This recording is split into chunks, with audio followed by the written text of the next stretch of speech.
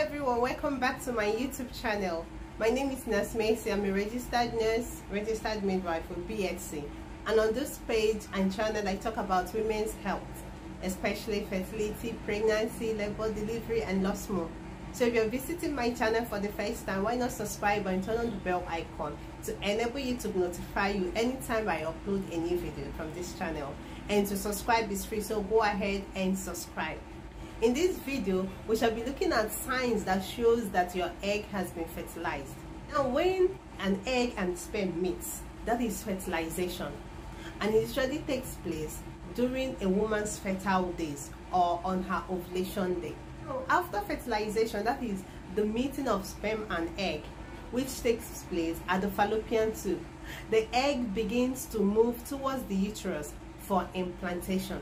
So after fertilization, a woman may not experience any symptom at that stage until implantation takes place. And implantation takes place about 6 to 10 days after fertilization.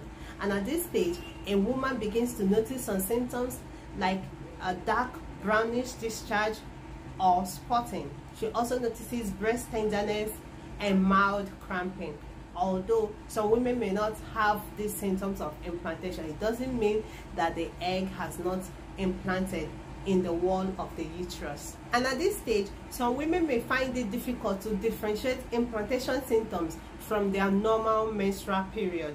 For implantation the blood is brownish in color while normal menstrual period blood is red in color.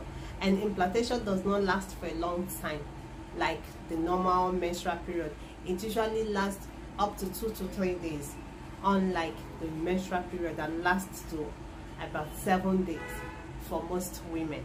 Around six weeks some women may begin to experience the main symptoms of pregnancy such as breast tenderness missed menstrual period mild cramping nausea and vomiting also known as morning sickness headache fatigue frequent urination and the rest of it. Now these are the signs of conception.